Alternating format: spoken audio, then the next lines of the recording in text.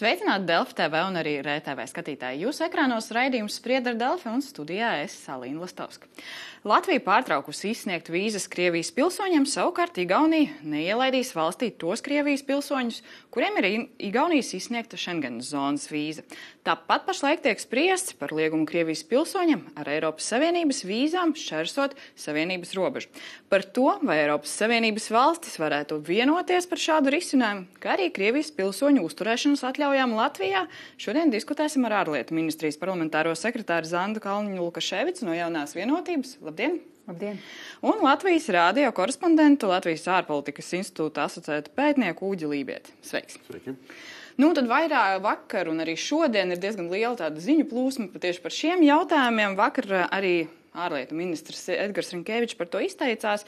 Parādīsim arī skatītājiem šo tvītu, tad, ka pašlaik kopā ar citām līdzīgi domājošām reģiona valstīm tiek strādāts pie politiskā un juridiskā risinājuma, lai Krievijas pilsoņiem ar Eiropas Savienības vīzu tiktu liekta iespēja iebraukt Eiropas Savienībā.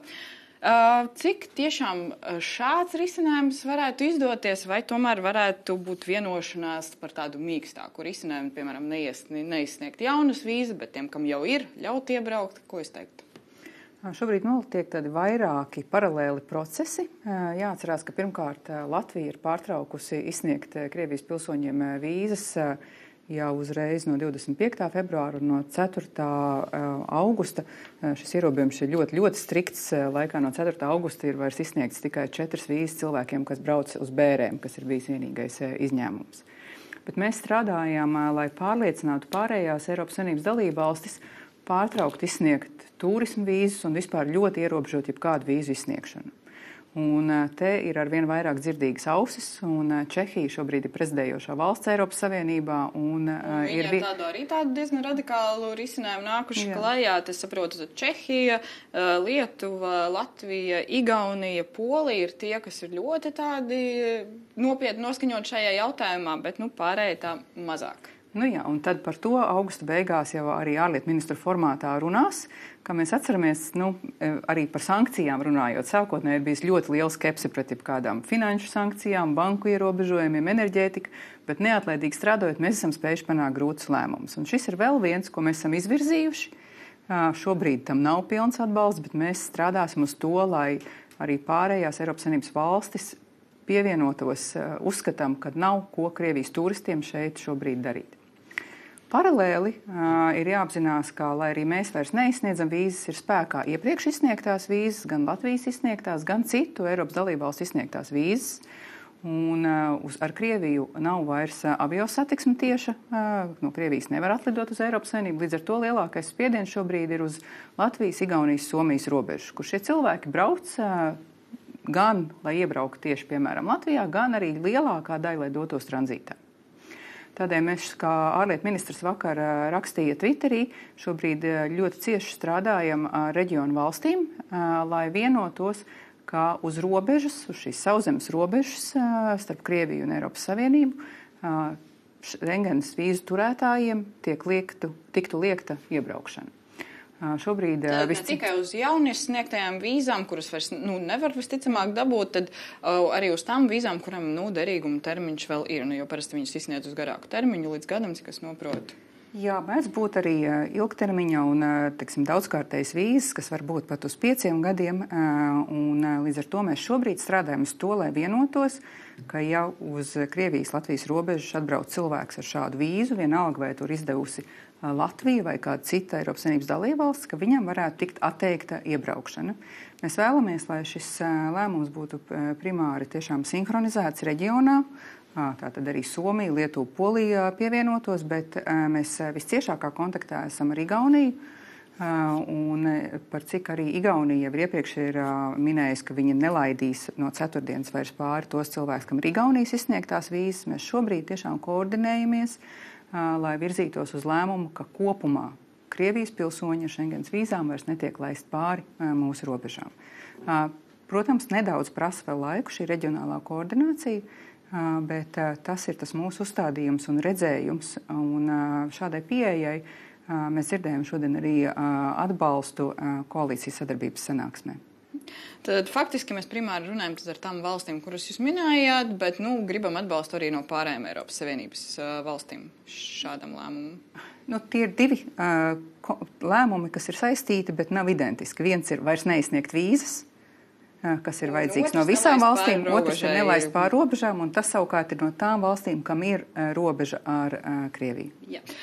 Mēs te minējām valstis, kuras piekrīt, bet nu, noteikti ir arī valstis, kuras iebilst. Nu, Kā tev liekas, Uģi, nu mēs varētu panākt tādu vienošanos Eiropas Savienībā par šo radikālāko variantu un tad reģionu valstīm, un tas ir īstenojams, vai tomēr Eiropas Savienībā arī par vīzu izsniegšanu nevienosimies? Nu, man liekas, tas jautājums ir pacēlies salīdzinoši nu, nesen. Un, līdz ar to, kā jau arī Zana minēja, ka ir kaut kāds process jāiziet līdz nonākt līdz kaut kādam tam, tam kompromisu variantam. Pašlaik tie izteikumi ir tādi, nu, izskatās taustoši. Arī Olafa Šolca izteikums, ka nu, mums būtu jāskatās par tiem cilvēkiem, kas mēģina bēgt no režīma, jā, jāsaklabā viņu iespējas. Uh, Šeit jau parādās vairāki tie, tie, nu, tie sarežģītie jautājumi, kuri varbūt tajās tuvākajās nedēļās līdz lielai sapulcē būs jāizskata un par kuriem vairāk jādiskutē. Es domāju, ka tas kompromisa variants nebūs tas bargākais. Un, bet tur ir arī potenciāli, manuprāt, saskatām vairāki um, riska momenti. Un viens no tiem riska momentiem ir šī sākšana šķirot labajos un sliktajos krievos. Un tas ir jautājums, vai mēs varam izšķirot gluži, vai mēs paši zinām, kuri ir tie labie krievi, kuri nav tie krievi, kuri pie mums ir vajadzīgi. Un, um, tas ir. Uh, Es šodien lasīju informāciju par to, kā Somija ar ko tagad saskarās ar kādām problēmām. Piemēram, um, piesakoties vīzai, tiek pat veidoti viltus saiti ar viltus lidmašīnas rezervācijām, ar kurām būtu pamats izsniegt vīzām. Uh, es domāju, ka to zemūdens akmeņu ir pietiekami daudz, lai būtu pietiekami plašs tas jautājumu lokus, kas ir jāizdiskutē. Un es domāju, ka tas nav īsts jautājums, nu, ātri atrisināms jautājums, bet uh, gan jau kaut kāds kompromiss būs. Uh, manuprāt, uh, Vai uh, tiks pieņemts lēmums neļaut cilvēkiem ieceļot? Es domāju, ka visticamāk, tuvākajā laikā nē. Uh, drīzāk šis jaunu vīzu izsniegšanas vai nu ierobežojums, vai arī procedūras uh, pastiprināšana, līdzīgi kāds pašlaik notiek Somijā. Uh, nedaudz gribētu arī precizēt par tām jaunajām vīzām. Nu, ir kādi noteikti ir izņ izņēmumi, ko izsniedz. Jūs minējāt, uh, kuras Latvija ir izsniegusi, pavisam dažas ar izņēmumiem. Nu, kuras, kuri tad būtu tie gadījumi, kad vīzas Krievijas pilsoņi tik un tā varētu saņemt? Pēc 25. februāra Latvija izsniedza vīzas cilvēkiem, kam bija šeit jābrauc vai uz bērēm, vai bija saslimuši tuvi radinieki. Uh, vai bija tā saucamā ģimenes apvienošanās, vai arī tiešām kādi īpaši humānu apsvērumu dēļ izņēmumi. Un mēs esam šobrīd to vēl vairāk sašaurinājuši. Tas nozīmē, ka mēs vispār neizsniedzam turismu vīzas, mēs vispār neizsniedzam vairs tādas vīzas, kas ir darījumu braucieniem vai teiksim, kultūras un sporta braucieniem. Un tas ir tas, uz ko mēs primāri mudinam arī pārējās Eiropas valstis. Tas pirmais, no kā atteikties, ir turismu vīzas apstākļos, kad Krievijas sabiedrība absolūtais vairākums atbalsta Kremļa agresiju pret Ukrainu un arī vēršas retorikā pret Eiropas valstīm, nu, tā tad ir jābūt tam konsekvencēm, un tas pirmais ir nav jābrauc uz Eiropu atpūsties un baudīt mūsu teiksim, kultūru, sadzīvi un tā tālāk. Un mēs redzam, īstenībā, ka interesantā kārtā šķiet tieši šis priekšlikums vairs neizsniegt turismu vīzas, ir radījis tādu gandrīz vai vislielāko viļņošanos Krievijas sabiedrībā. Lielāku pat kā bija banku transferu slēgšana vai kāda ierobežojuma tirzniecībai, jo tas skar plašu sabiedrības daļu, tieši šo labklājīgo sabiedrību, kas ir lielajās pilsētās, pārsvarā Krievijā. Un mēs redzam, ka tas viņiem būs sāpīgi. Bet tas ir arī mērķis likt šai Krievijas sabiedrībai pamanīt, ka kaut kas nav kārtībā. Jo daudz no viņiem turpina izlikties eh, nezinām, ka notiek karš.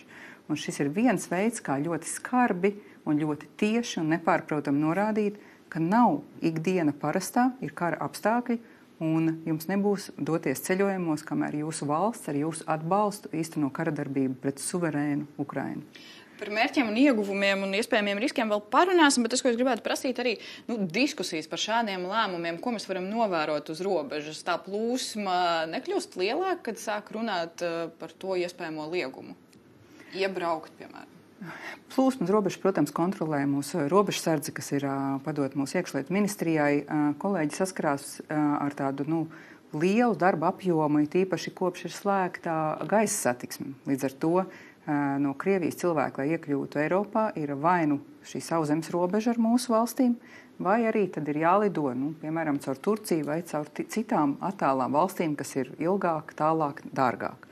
Līdz ar to ir pieaudzis kopš šīs arī gaisa satiksmes slēgšanas. Bet kopumā nu, jūs nerēķināties, ka varētu būt arī riski, ka varbūt vajadzētu pastiprināt. Es saprotu, ka tā ir primāri iekšlietu ministrijas robežsardzes jautājums, bet nu, tomēr spriežot par tādiem uh, politiskiem lēmumiem, noteikti tiek apsvērta arī riski. Nu, respektīvi, ka tā plūsma palielināsies pēdējā brīdī, un ko mēs darīsim tad ar cilvēkiem, kuri būs nu, varbūt pēdējā brīdī pirms tā lieguma iebraukuši.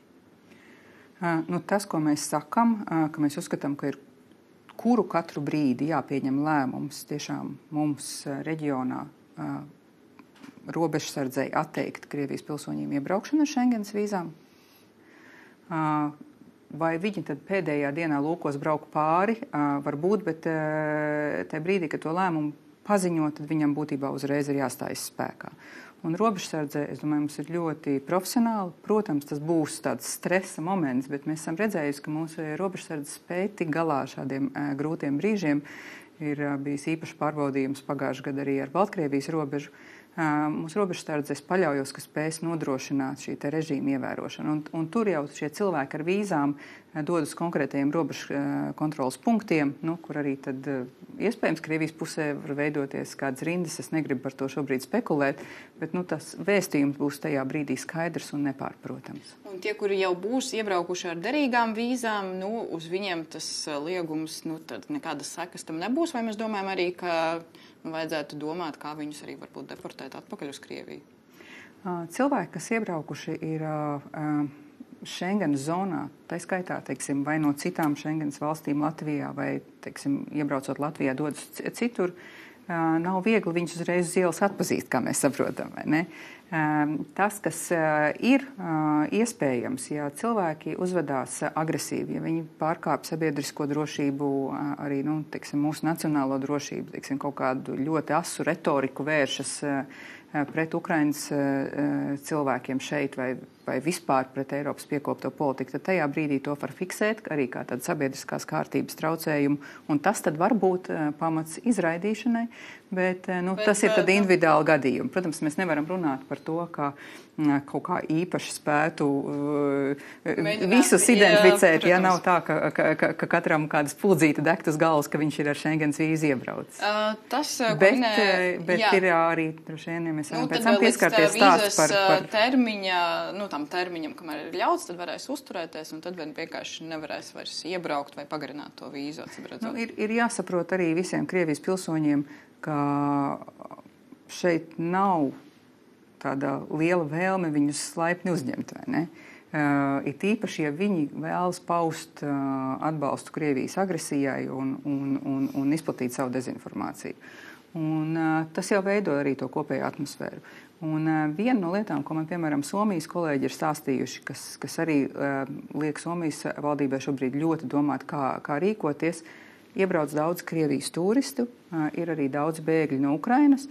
Un ir bijuši konkrēti, nu, vēl vairāk gadījumu kā Latvijā, kad ir tādas ļoti asas uh, sāsinās attiecības. Un šie uh, īpaši bēgļi no Ukrainas ļoti, ļoti, ļoti nu, lielā diskomfortā redzot tik daudz krievu turistus apkārt.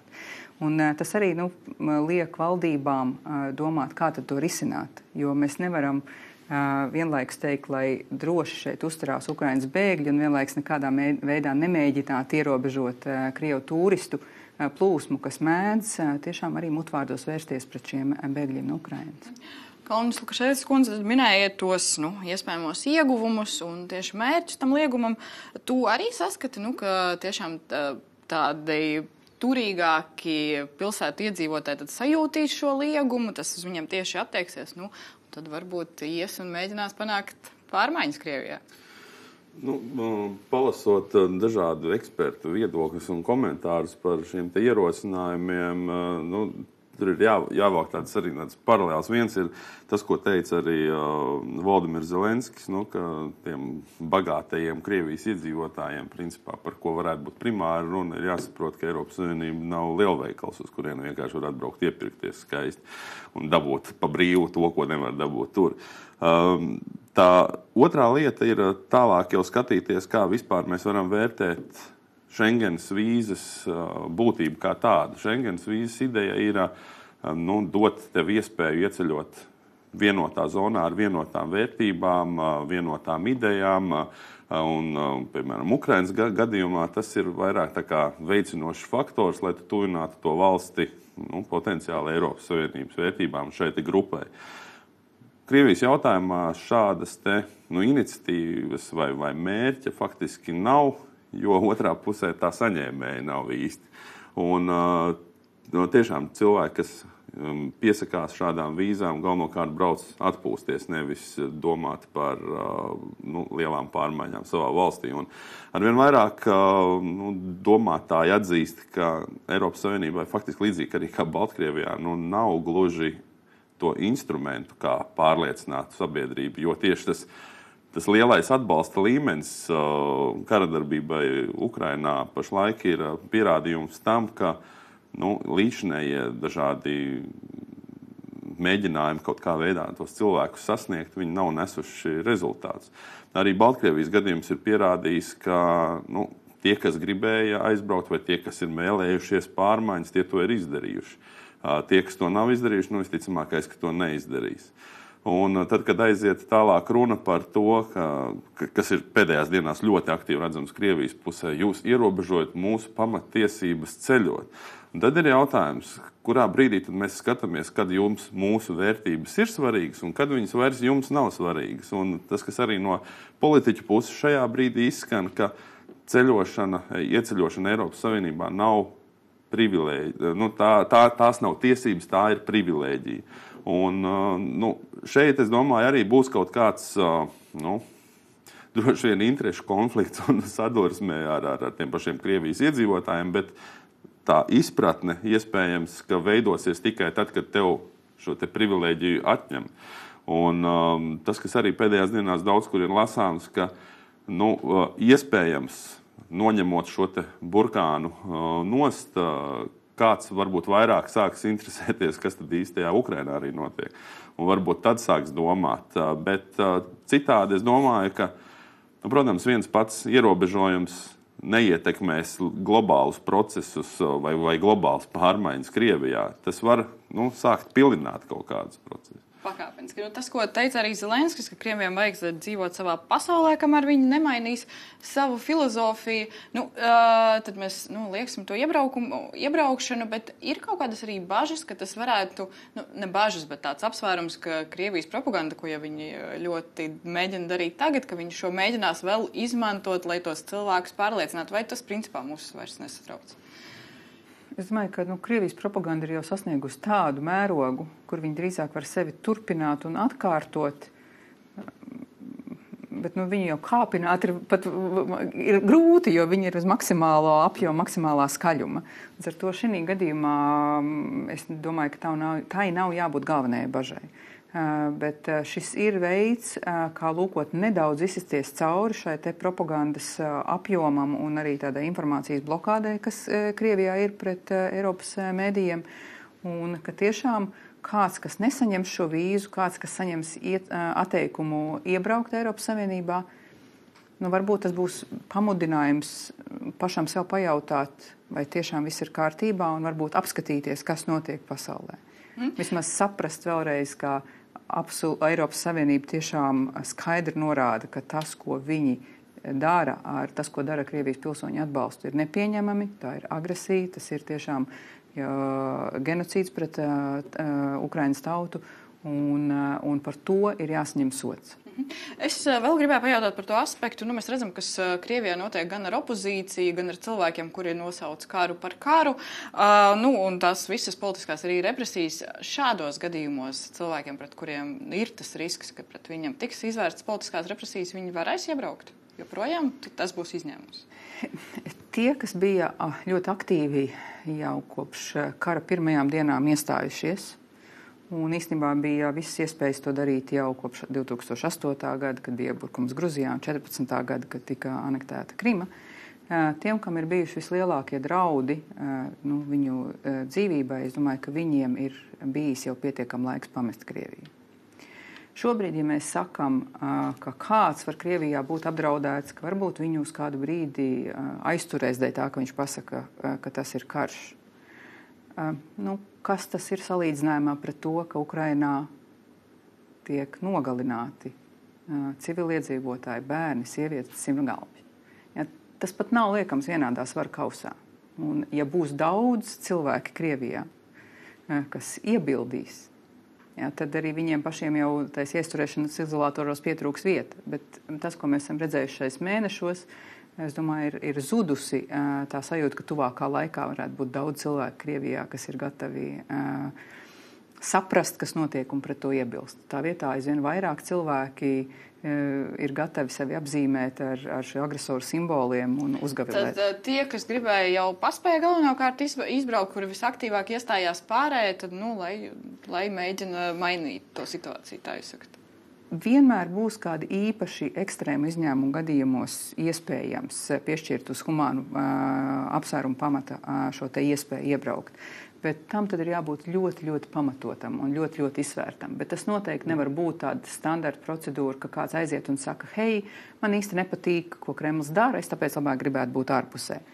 Tam gan uh, nav vairs laika, vietas un, un, un, un, un situācija. Uh, šī, šajā kontekstā mums arī ir diskusija. Mēs redzējām, kas notiek ar žurnālistiem, kurus mēs uzņēmām Latvijā, kuri šeit strādā. Kā tev šķiet, nu, uh, cik lielā mērā mums ir jāpieņem Latvijā šie opozicionāri, uh, vai tas, tas ir izņēmums un apsvērums, kāpēc šiem cilvēkiem vajadzētu vīzes vai uzturēšanas atļaujas vai iespēju šeit strādāt? Nu, protams, es uh, nenoliekšu, ka Es, mēs arī nu, radio arī sadarbojamies ar, ar šiem žurnālistiem, kas ir raduši patvērumu Latvijā un turpina savu darbību šeit. Un, uh, nu, žurnālistu, saka, uh, saimēji būtu jābūt vienotai. Uh, mēs nevaram gan uh, uzreiz tā izmainīt tās informatīvās telpas, savu būtību vai arī to, kā šie cilvēki strādā. Um, runājot par opozicionāriem vai tiem, kas vēlas iebilst Kremļa režīmam, es domāju, ka tur ir tāds nedaudz arī riska moments. Jo pēkšņi par sevi par opozicionāru var sākt dēvēt neviens viens cilvēks, kas nekad to nav savā dzīvē darījis. Jo, nu, kaut vai tādā jau iepriekš minētās nelielās krāpšanās dēļ, bet tas, ko arī Somijā šajā tieši šodien, starp citu, apspriež, ir, ka viens no soļiem, ko varētu darīt tālāk, ir pārbaudīt šo cilvēku nu, pagātni, jau saucam angliski background, lai tu redzētu, kas tu pa, pa fruktu mums esi, ja, vai, vai kāda tava darbība ir un kādas, kāda tava izteikuma un tam līdzīgi. Um, es domāju, tas prasīs resursus, ja mēs tiešām to gribam. Uh, ja mēs gribam saglabāt kaut kādu konsekvenci, piemēram, šiem cilvēkiem jā, tiem cilvēkiem nē. Um, um, runājot par tiem pašiem žurnālistiem, uh, nu atkal ir stāsts, ja nemaldos, uh, vakar vai Igaunija izraidīja divus žurnālistus, kas ar turismu vīzām bija ieradušies šeit un turpināja strādāt. Um, viens jautājums ir par to, kā viņi strādā kā žurnālisti, un otrs ir, ko viņi domā kā cilvēki. Un uh, šī lieta ir, uh, man liekas, arī nu, pēdējo, pēdējā laika intervija un jautājumi par mūsu pašu uzvaras parka pieminiektu dīvaino.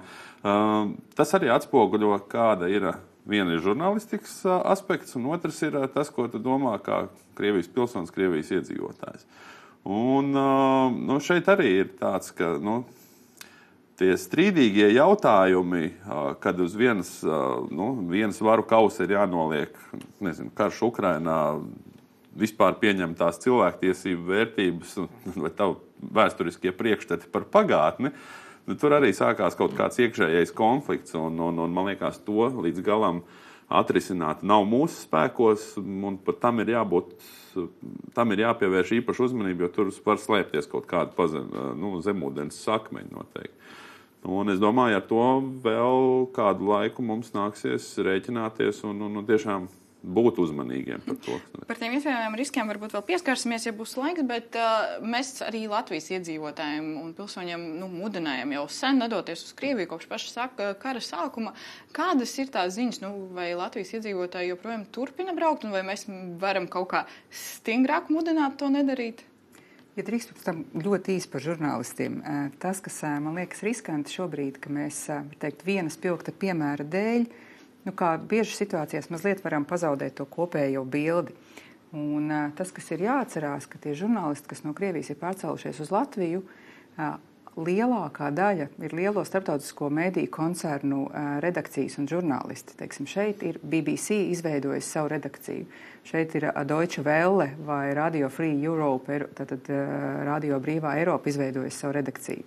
Un šo starptautisko mēdīju koncertu redakciju klātbūtni šeit Latvijā pārceļot viņu profesionālu žurnālistus, kas ir ar Krievijas pilsonību jebkurā gadījumā ļoti bagātina gan mūsu mēdīju vidi, gan arī dod papildus iespēju, tā skaitā Latvijai, Baltijai, dot savu vēstījumu plaši pasaulē. Teiksim, BBC redakcijas klātbūtne šeit Latvijā ir, ir liela vērtība, kas teiksim, dos mums iespējas.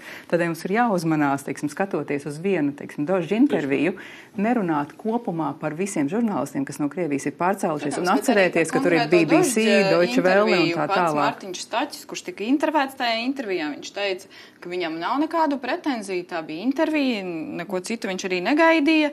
Arī nu, tādu žurnālistikas normu pārkāpumu nekādu tur īsti nesaskata. Es domāju, ka. Ir vienkārši nērti jautājumi, ar kuriem mums pašiem jātiek galā. Nu, būsim atklāti. Šodien uh, Tallinā aizvāc padomu tanku.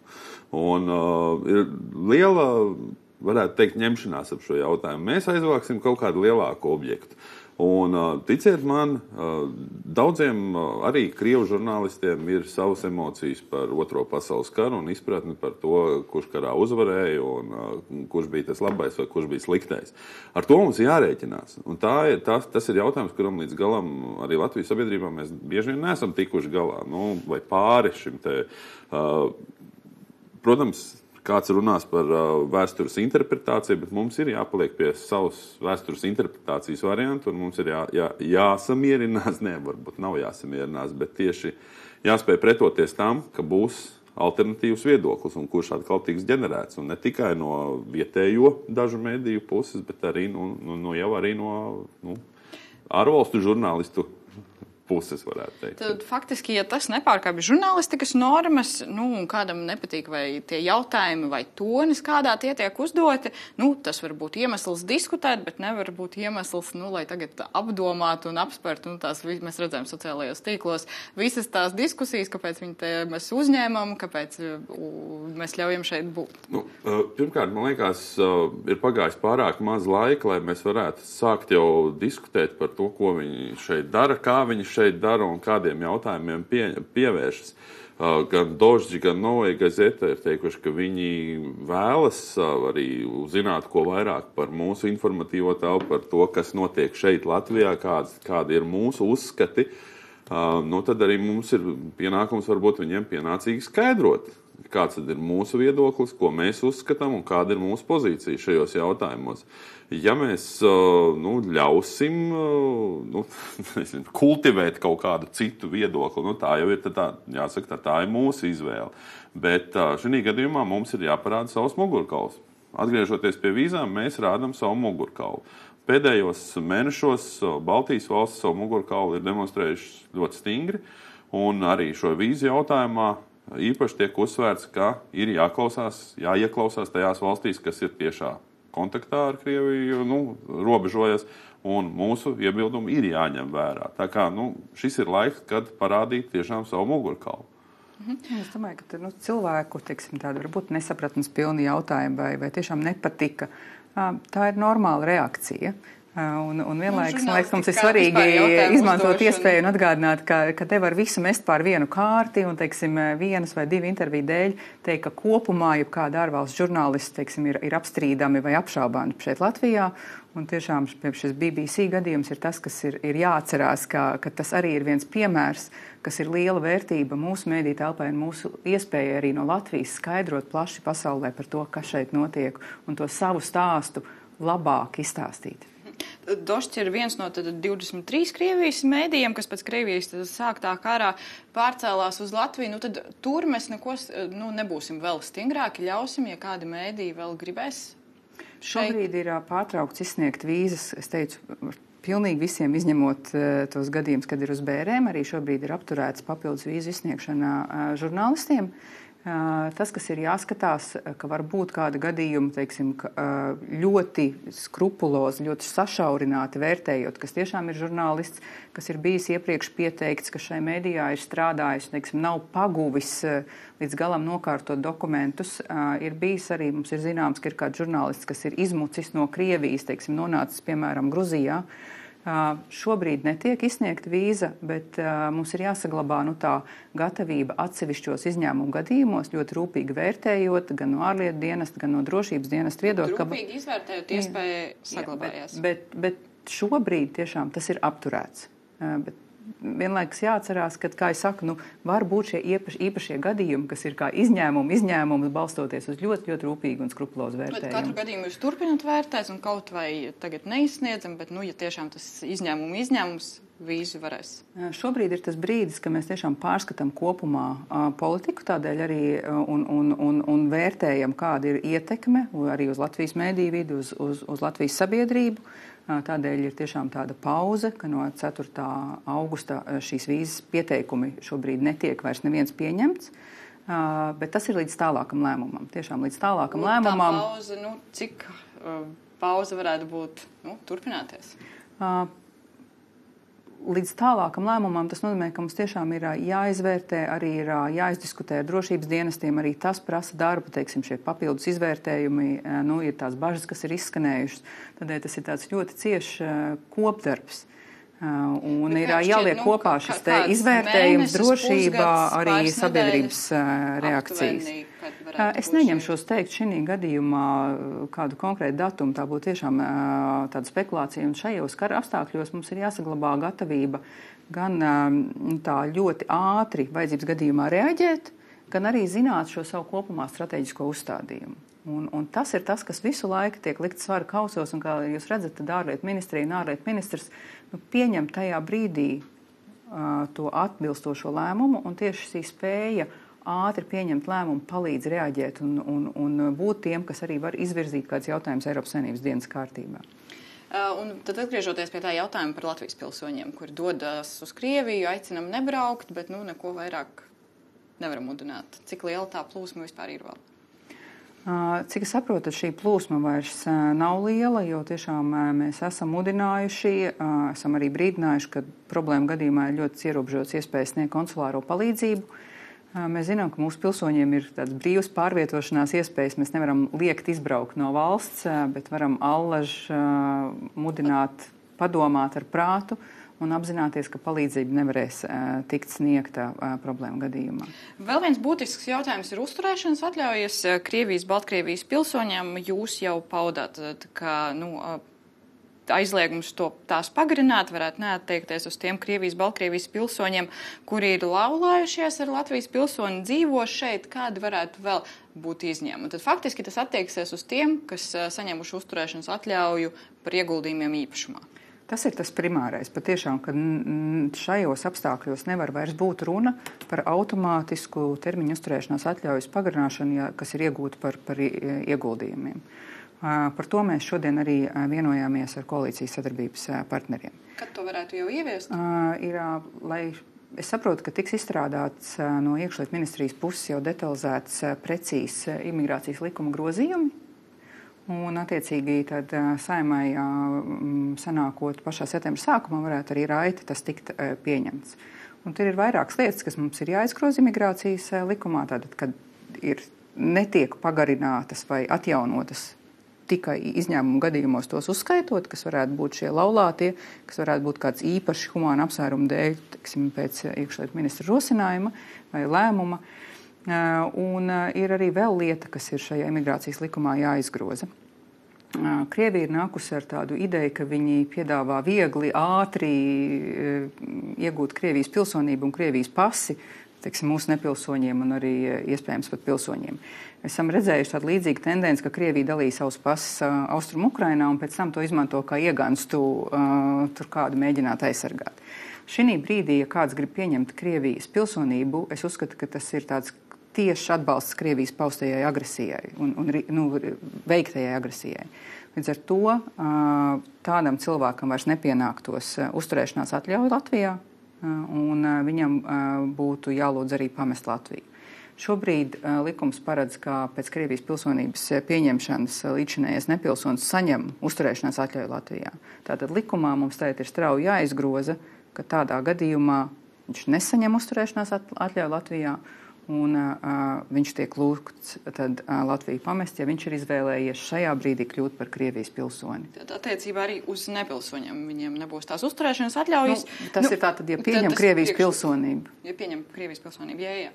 Bet, nu, ja jūs sakat, saima septembrī sanāks, sāksies rudens sesija, tad viņi izgroza un tas stājās uzreiz spēkā. Ir tā, tas ir tas piedāvājums, kas faktiski tiek apspriests. Jā, mēs atceramies, ka arī šogad pavasarī jau, piemēram, 7. aprīlī tika pieņemta viena grozījuma imigrācijas eh, likumā, kas noteica, ka jaunas uzturēšanās eh, atļaujas vairs netiek piešķirts izņemot izņēmumu gadījumus. Tur netika tik ļoti stingri vēl regulēts par šīm te um, pagarinājumu vai atjaunošanu. Un tas, ko mēs šobrīd rosinām, arī esmu tiešām jau konkrēti uzrunājis pagājušajā nedēļā ārlietu komisiju, ka ir ļoti stingri arī jāierobežo jebkāda termiņa uzturēšanās atļauju pagarināšanu un atjaunošanu. Un koalīcija ir atbalsts nu, šai priekšlikuma paketē, ko jūs tikko arī minējāt, Jā. visi atbalsta. Noteikti sekosim līdzi arī saimas lēmumiem. Paldies jums šodien par to diskusiju. Rīt raidījumā sprieda ar Delfi pulkstens divos. Mēs diskutēsim par veselības aprūpas pakalpojumu izmaksām un pieejamību. Paldies jums, ka skatījāties un uz tikšanos jau rīt.